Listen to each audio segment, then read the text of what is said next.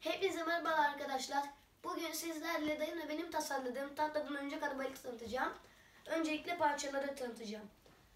Bu kabzemiz. Kabzede burada tetiğimiz var.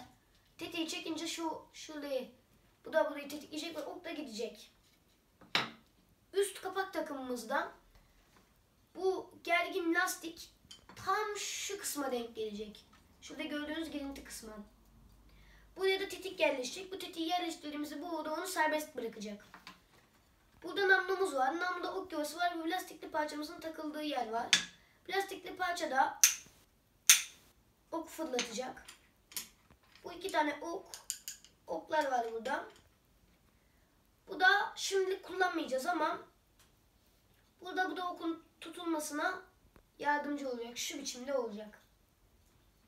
Şimdi parçaları takmaya başlayalım.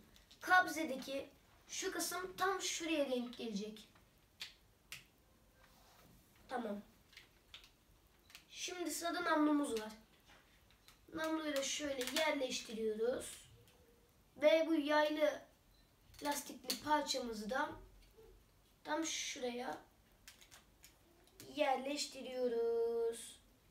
Şimdi bakalım atıyor mu? Atıyor. Demek ki çalışıyor. Şimdi bir hedef bulalım.